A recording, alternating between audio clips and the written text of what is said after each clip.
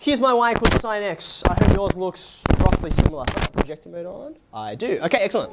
Now, um, what you can see here is different to what you drew in a couple of ways. The first way is I asked you to do a restriction on the domain. I asked you to go from 0 to 2 pi. That's a domain. Um, the range is negative 1 to 1. I asked you to go from 0 to 2 pi. Where is 2 pi, by the way? On here.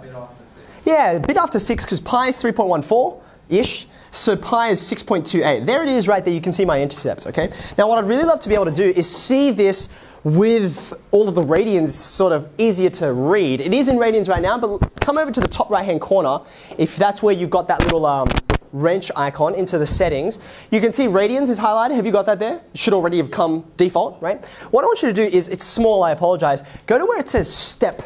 Do you see there's um, an x and a y axis and each one is a step? When they say step, what they mean is, you know, how many numbers are there between each of the grid lines? That's what they're talking about. What I want you to do is on the x axis, go to step. And then for the x axis step, um, you can either type in the letters pi or if you pull up the Desmos keyboard, there's a pi right here. And I'm going to change the step to pi uh, on 2. I think it actually defaults to that. So you can see now everything's in radians. Did it come up on yours? Yes, so look it. Excellent. Fantastic. All right. Now this is more useful to me.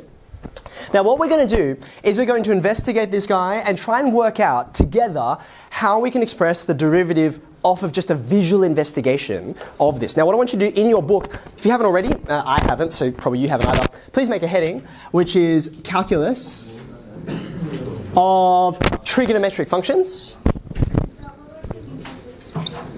I beg your pardon, Yeah, basically. Um, we are going to do more than just trigonometric functions, but that's where we're going to start today. We're going to be in this little land for a little while, so this is an appropriate heading, I think. Now, what I want us to do is to kind of, like I said, play detective, and we're going to gather our evidence, gather clues by looking at different parts of this graph and trying to understand features of it, and we're going to kind of build up a dot list, right? We're trying to um, gather information about this, and as we look at different this function, we can conclude different things about its derivative. Okay. Now you may well have already even encountered. Maybe you just were flicking through something in the textbook, or some other Year 12 older student showed you. Maybe you already know what the derivative of this function is, and I'm not interested.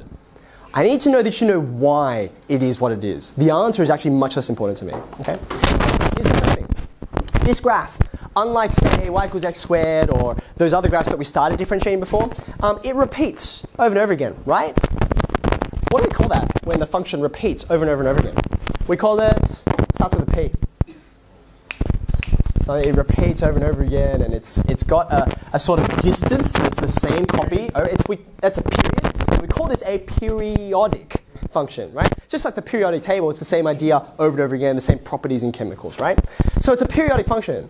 Now, welcome back. They so missed you. It's, it's stuck with me. Okay, now think about this with me, right? If, if our function that we're actually interested in, if this thing is periodic, then the gradient function of this, surely that must be periodic too, right? Does that make sense? Like, for example, um, you've got some points here that are very important. Is it working? Yeah, it's working. Fantastic, okay. You've got some points here that are really important, and they're going to come up over and over and over again, right? So therefore, we, what we can say is, this is about the derivative of sine x. That's what we're investigating right now. Because sine x is periodic, then surely the derivative of sine x is also periodic. So that's our first clue. Okay, that's the first thing. The second thing is, when it comes to gradient, a few of the spots on this graph are more important and more interesting and easier to spot than others. I'm going to zoom out. I'm going to try and keep this in a stable spot so that we can look at it now with this in mind. For example, let's mark them in right now. I've got a red here. We have names for these spots here, and here, and here. What do we call these guys? We call them stationary points. Why do we call them stationary points? Yeah, they're kind of not moving, right? The technical definition is if we were to draw a tangent line at these spots, the tangent would look like this, right? Horizontal. Do you see that? Okay. If you go anywhere else on the graph, like say here, the tangent will not be horizontal. It will be down or up. But at these particular spots, you get a horizontal tangent. Now, what does this tell us about the derivative? What do you know about the derivative if the tangent's horizontal? Will. Very good. The derivative, can we write that together? The derivative, actually I'm just going to write dy and dx because I am lazy. Uh, dy and dx, right? It's going to be 0 when x takes on a bunch of particular values. And we can see some of them right here. What's the first one that I've marked in? Have a look. The x value. Uh, pi. Pi on 2. Very good. What's the next one? 3 pi on 2. What's the next one? 5 pi on 2. And in fact, every odd value of pi on 2 in the positive direction, dot, dot, dot, and in fact, also in the negative direction. So I could have had a dot, dot, dot at the beginning here as well. It the previous one, the one that's not shown on this graph. Negative pi on 2, right? So all of these, you just slap a minus sign on it, and you'll also get these stationary points. Okay, very good. Now the next thing I want you to do is, and um, it's a bit tricky uh, to do this on your screen, that's why I asked you to draw sine x for me on the graph that you drew on your page. What I want you to do is enact something we've done before, which is to talk about not just these places where the derivative is zero, but I want us to think about the sign, the plus or minus of the derivative here. So for example, see this spot right here? It's increasing. Do you agree? It's increasing right there. So I can put a plus sign there showing that I should have a positive gradient to match that increasing part of the function. And it's still positive, it's still positive, and so on. I want you to start marking those in, and you've also got these negative sections here. Can you do the entire copy of the graph that you have on your page? Do that by hand, show the pluses and the minuses, where the gradient is whatever it should be.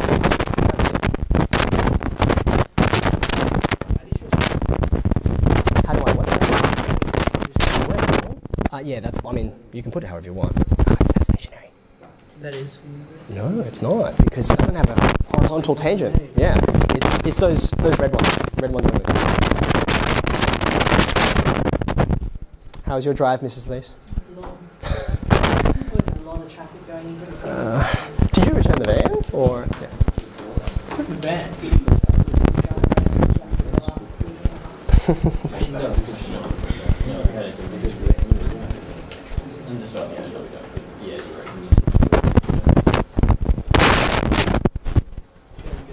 So, just about to Yep. Okay, now I'm going to put this back in a second, but um, here's one I prepared earlier. Now, what have you got here? All the parts where it's going down, all parts going up, the sign of the derivative. That's what we've just determined, right? We're going to try and graph this derivative. I want to know where's it positive, where's it negative. So the orange parts, it's all negative. The green parts, it's all positive. So you might want to indicate that, you know, with something like this. dy and dx, somewhere it's zero. We've already marked those in. But sometimes it's greater than zero. It's positive in those particular sections. And sometimes it's negative. So you can put that, draw that onto your graph, okay? Where's it positive? Where's it negative?